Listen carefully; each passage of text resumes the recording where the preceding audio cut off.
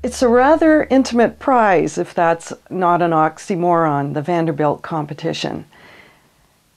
What makes it intimate is that as a writer, you want to know who this woman is, who not only started a prize, but is the first judge.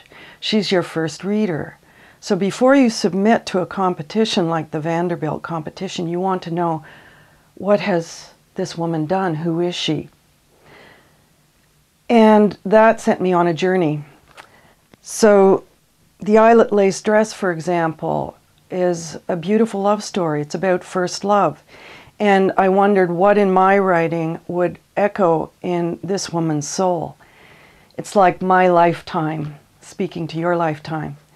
But most important for a writer, winning something like the Vanderbilt uh, competition means readers.